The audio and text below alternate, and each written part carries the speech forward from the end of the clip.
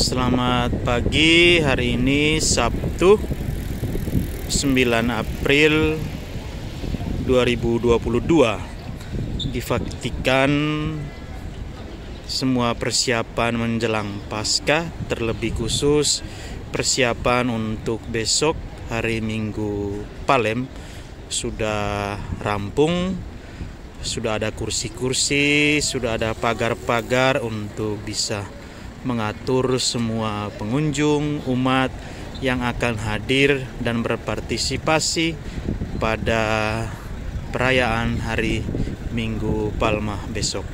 Ini bisa dilihat bagaimana pagar-pagar, kemudian ke depan sana altar sudah dipersiapkan, kursi-kursi dan macam-macam hal lainnya. Salam dari Roma, Tuhan memberkati. Hari ini Sabtu 9 April 2022 kita bisa lihat di Vatikan semua persiapan untuk perayaan Minggu Palma besok sudah rampung.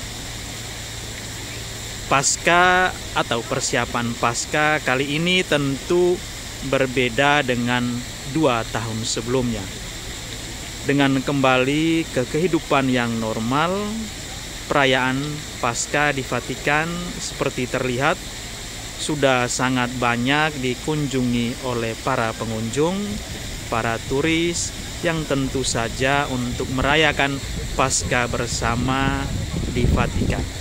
Ini bisa dilihat teman-teman ada kursi-kursi yang sudah dipersiapkan dengan rapi di sana ada para pengunjung yang begitu antusias untuk antri masuk ke dalam Basilika Santo Petrus.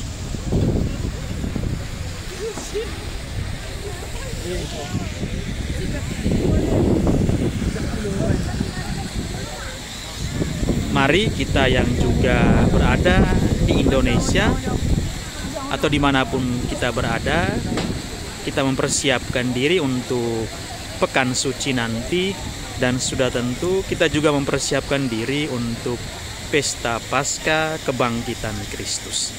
Salam hangat dari Roma, Tuhan memberkati kita semua. Ciao, ciao.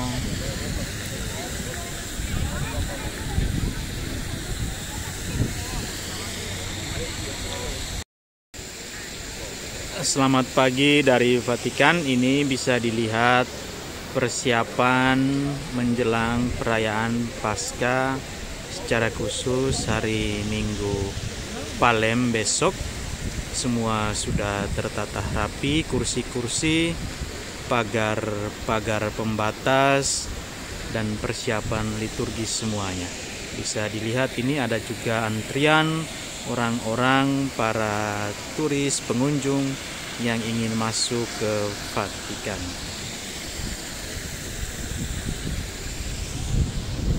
Salam dari Vatikan, Tuhan memberkati kita semua.